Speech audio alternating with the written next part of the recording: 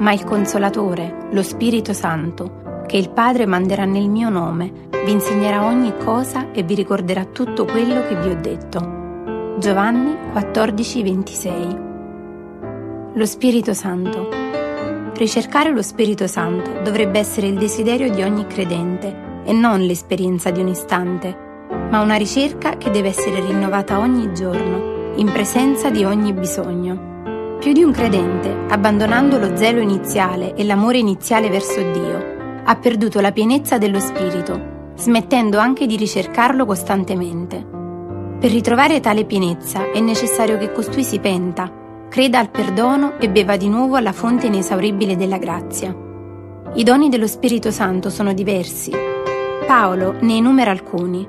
Dono delle guarigioni, della sapienza, dei miracoli, delle profezie, del parlare in altre lingue, di interpretare. Ed è Dio stesso a donare come Egli vuole, ma è importante che anche noi ricerchiamo tali doni.